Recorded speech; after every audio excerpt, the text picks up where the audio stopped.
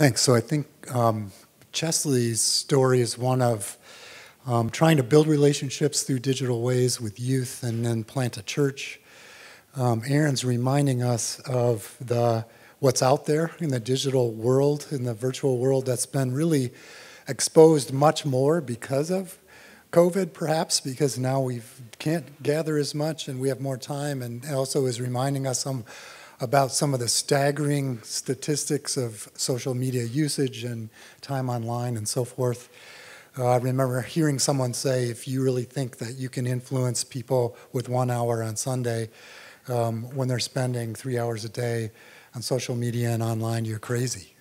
You're absolutely crazy. It's never going to do anything of any significant difference in their lives. Um, that's, that's, uh, that's depressing. And also, um, we hope that the Holy Spirit does a little bit more too as we gather together and, and um, in our relationships and in our time together as churches. Let me just tell you a little bit about our story. Um, and it's just a story of how we've been wrestling with digital ministry and digital tools. Um, I think we went through what almost every church did at the beginning. I wasn't really here at that time. I was working with the Colossian Forum. Uh, but early on, um, there was a sense of denial, right, that this would last a couple weeks and we'd be back on board. And there's a little bit of a break, a, you know, a, a gimme sabbatical for everybody for a couple weeks. So we'll try to bridge the time with a couple of interesting things. We'll try some things.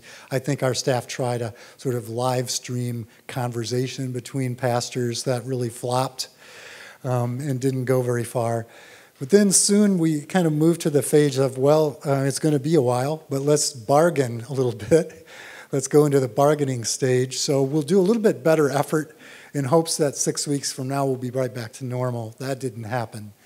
Um, so I think that then we moved into some of the anger phase provided by the culture around us with people talking about masks and vaccines and um, there was an election to throw throw into things, so we dealt with anger and then depression and fatigue, and then uh, adaptation or ad- adapting in the end. Um, and the real question is, what do we adapt to? Where where do we get? It's like grieving anything, right?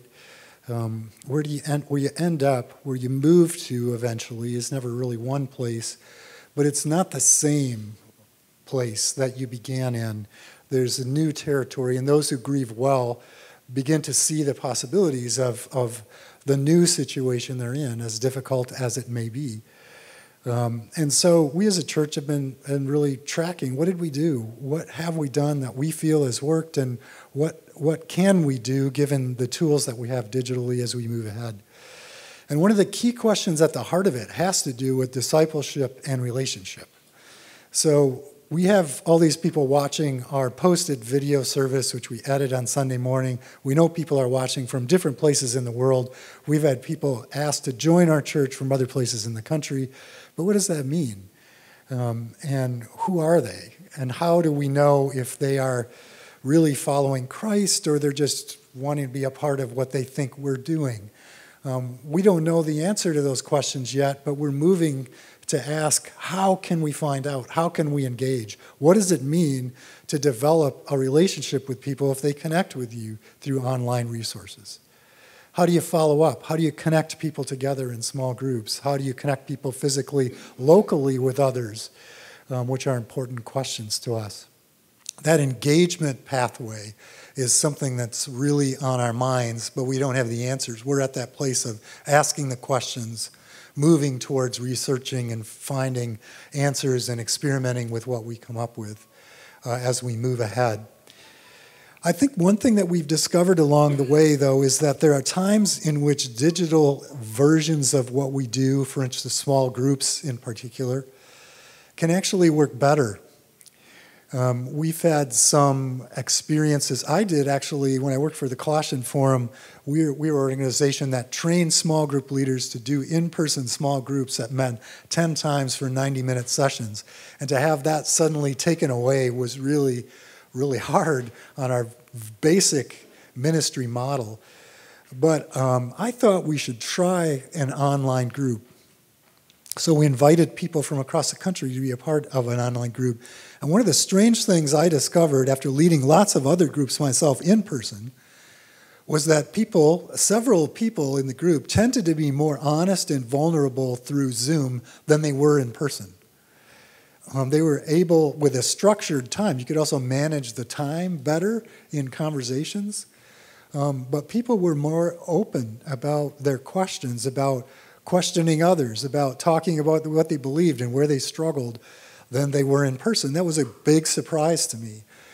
And we, we discovered, I think, through Alpha moving online, Jenna, uh, Pastor Jenna uh, Barber, who's on our staff, led a, an Alpha ministry group that met completely through Zoom um, last spring, right? and discovered there the same thing that there were several occasions which people who had serious questions about God and about faith were able to, to express those questions and have conversations at a deeper level than what has happened in the in person group.